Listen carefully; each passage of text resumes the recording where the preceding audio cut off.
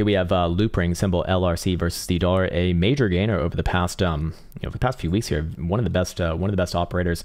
However, what goes up typically at minimum must consolidate for a little bit of time. And in this case right here, uh, shorter term timeframes are showing that uh, they are trading sideways at best right now. And I probably would be looking for another move back down somewhere around your two. Uh, actually, in fact, if we're, if we're looking at an hourly, I'd actually move this down to about 273 in this case.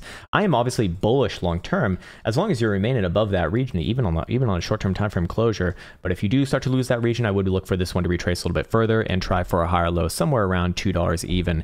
Until then, sideways above this region is obviously long-term bullish. I just expect that it takes some time to work off these extreme conditions that we saw on four-hour volatility. I mean, this was consistently at, you know, 95 percentile for a while. Daily, obviously, same thing as well. It's a lot more likely to consolidate here. And, uh, and a consolidation here would actually be really, really, really, really, really strong long-term. And long-term, you know, could be looking at targets on a break of your current high structure somewhere between about you know 434 and maybe even as much as five and a half bucks as crazy as it does sound but i'm inclined to say that uh, after doing a move like this probably going to trade sideways at best for a while here, and that would be considered good. Looking at the higher term time frames, like a weekly, obviously it's still bullish long term. There's nothing bearish about this chart at all whatsoever. I just expect that you probably do, you know, play at a bit of a retracement, consolidate a little bit lower, and then set it up for maybe later this month of November or early December in this case.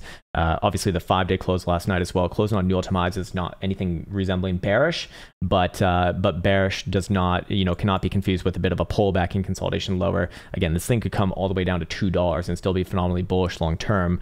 Um, but I'd still give it a chance right here just because it has been one of those more one of those more aggressive ones, and typically the strong get stronger, as the saying goes. Weekly Stochs are going to be upside angles as long as above 160, so no threats right there. Five day, which just closed last night, is 144, so very good right there as well.